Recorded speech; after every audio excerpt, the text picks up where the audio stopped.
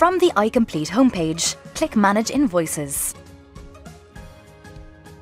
In the Awaiting Approval tray, click the invoice to open it. You now have two choices. With either choice, you have the option to add a comment before approving.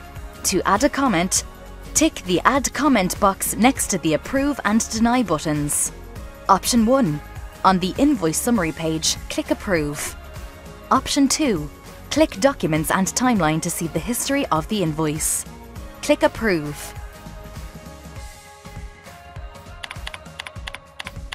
The invoice is now approved and moves to your approved tray.